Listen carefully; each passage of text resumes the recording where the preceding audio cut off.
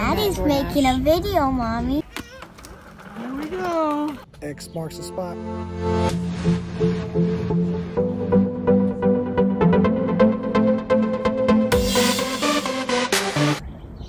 Oh, hi. Hi, Mr. Man. How are you?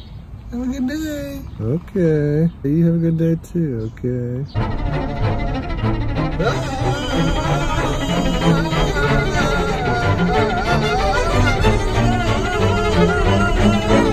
the other night I had a dream. I was late for work and I was just starting a new job and I didn't have a car, so I just started running through the woods. Nobody cares about your dreams, Erich!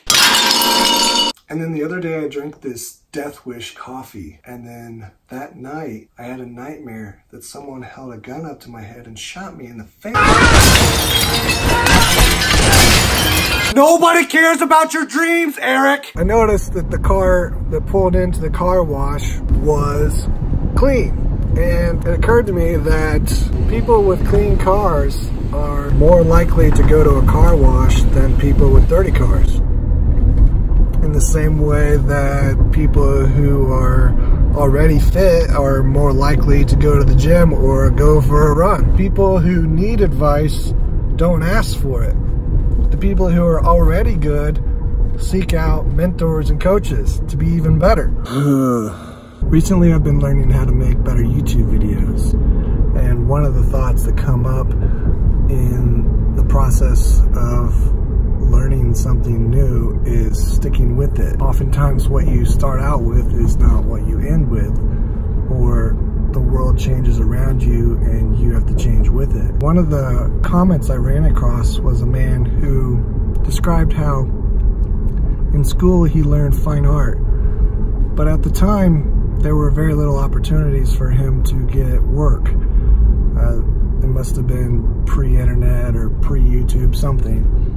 And it became obvious to him only in hindsight that if he just would have stayed in the profession and found something to do, anything, that if he just would have stayed in that stream, then eventually he would have adapted to the new things where his skills were needed. You probably heard me kick myself in the past saying, well, why didn't I make YouTube videos in the past? You know, I was a guy who made videos in high school and college.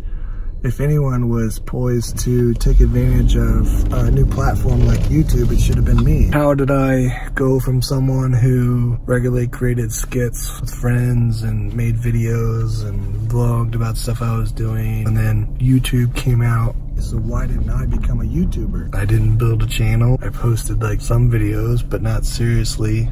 And other people became quote YouTubers. They didn't even add ad revenue until 2009. Being a YouTuber wasn't even a thing. They had to do things to get by. So I made decisions based on situation at the time.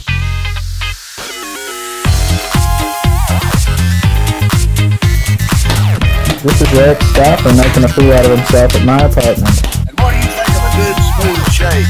I'm highly in favor of it. I am too. That's what I'm talking about. What do you think of a good smooth shake? That's what I'm talking about. That's what I'm talking about. Derek? What do you think of a good smooth shake? What's this thing? I can't keep him in school. He's a wild and crazy kid.